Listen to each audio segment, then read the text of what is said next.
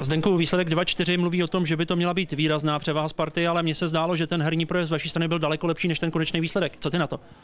Tak určitě, myslím si, že jsme dneska nebyli zase tak horším týmem na to, aby jsme prohráli 2-4, ale jak jsem slyšel, teď prostě Sparta vystřelila pětkrát, dala 4 góly, ale prostě dneska si myslím, že oni měli to štěstíčko na své straně a vyhráli, no. prostě dali dvakrát víc gólů než my, ale my se nemůžeme za to stydět, prostě dali jsme dva góly Spartě, prohráli jsme, už je to za náma, teď prostě si to musíme vyříkat a musíme jít do dalších zápasů, je první kolo.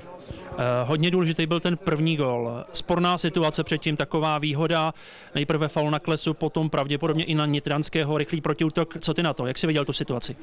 Tak určitě rozhodčí nechal výhodu, pak to posoudil na Nitryho, tak jak to posoudil, prostě měli jsme nějaký teď prostě sezení s komisařem, který nám prostě říkal pravidla tohle a rozhodčí to posoudil takhle a prostě teď už s tím nic neuděláme, v kabině prostě jsme si řekli, že s tím nic neuděláme, bylo to 1-0 Šli jsme dál prostě, no. Jak říkám, rozhodčí se rozhodl takhle a to nikdo nezmění. Asi eh, velká naděje, šance, světla, když jste snížili na 2-1, tam to byla pěkná akce, vlastně z levé strany proletěl balon až k tobě.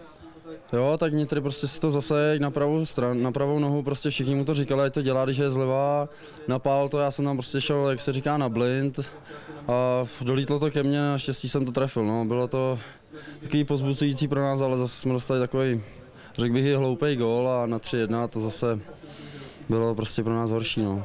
Za stavu 2-1, když si snížil, věřil jsi ještě v to, že prostě je šance bodovat, vy jste tam měli takový poměrně zajímavý útok, lítalo to tam vlastně skrz to vápno. Samozřejmě, já jsem věřil, určitě lidi možná tomu věřili, ale prostě dostali jsme na 3-1, bohužel.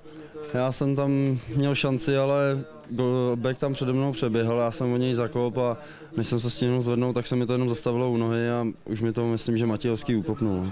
Celkově atmosféra toho zápasu, jak si tohle to vnímal?